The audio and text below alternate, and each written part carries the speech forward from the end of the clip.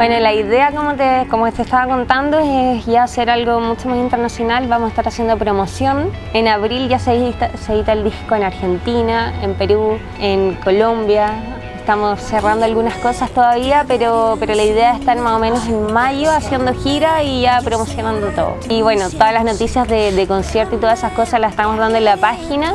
O sea, a través de la página, bueno, pueden ver fotos, pueden ver, no sé, eh, todas las noticias y a través del Facebook yo creo que lo hemos hecho algo mucho más personal porque ya tengo más de 5.000 fans, entonces cuando yo me van escribiendo, yo los leo, de repente los estoy respondiendo, así que se ha hecho como un lazo bien de, de amistad con ellos, bien cercano yo creo.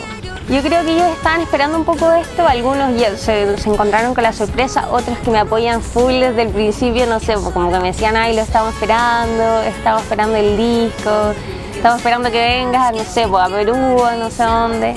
Entonces, como que lo siento súper cercano, como que no me gusta como sentirme así como yo y ellos, que no, somos amigos y sobre todo con, lo que te contaba, que es Facebook, uno tiene como más cercanía con la gente principalmente de todos los fans, de toda la gente que me ha apoyado de, o sea, desde el principio, desde que yo me salí del grupo. Mucha gente estuvo ahí ahora que volví también apoyándome full, así que si estoy en los primeros lugares, 100% es por ello.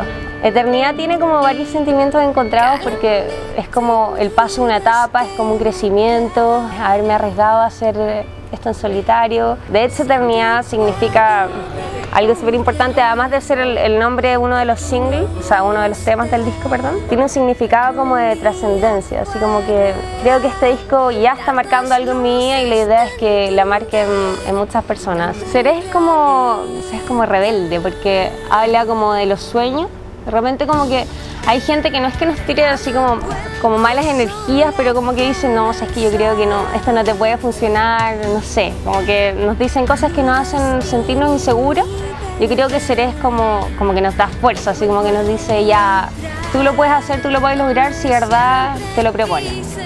A ver, el, disco como te contaba tiene una línea pop, pero tiene algunos matices más rockeros, algunas baladas y es más o menos lo que yo escucho, lo que a mí me gusta. Quise en este disco, en, este, en Eternidad, poner más de mí, más que nada eso. Yo creo que, no sé si es un crecimiento, pero yo diría que es algo, algo que a mí me gusta.